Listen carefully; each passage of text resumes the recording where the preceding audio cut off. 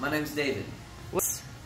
I love how uh, welcoming and clean the gym is. Um, it's really easy for me to get here. There's always open stuff. It's not packed. Um, I've been to a lot of gyms in Dallas that are just, frankly, a little gross. Never had that experience at Colaw, so I always know I'm getting a great experience when I show up.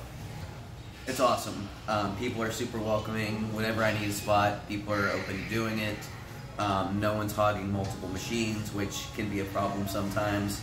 Um, you know, people just really welcoming, very nice. Can't say anything, uh, nothing better to say about it.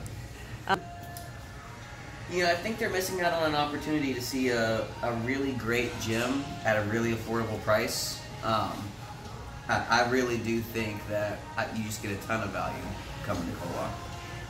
So far, I've lost about eight pounds since starting with Colaw Fitness. Um, I've seen my strength go up, uh, but it's just the beginning for me. I'm about a third of the way to my initial goal, um, so we're going to keep on going.